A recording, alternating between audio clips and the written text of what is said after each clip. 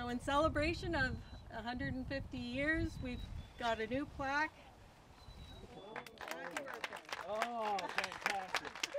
The work will now start in earnest, as, as you heard earlier.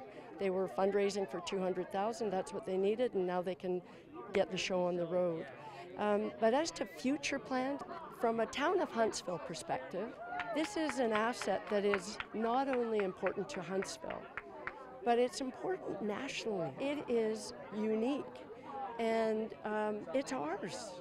This is the kind of thing, once it's done, there will be events here. It'll be part of our, our culture tour, right? We have culture days in the town of Huntsville that we all partner and work together.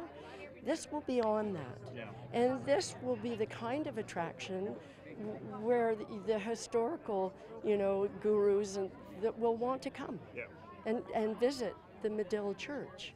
And I, it just, it, it makes me almost teary because it's because of a group of citizens in our community that said, we've got to do this. It's perfect for exactly what happened. The Madill uh, Church Preservation Society was formed, a not for profit, so, sole purpose to bring this church back to life.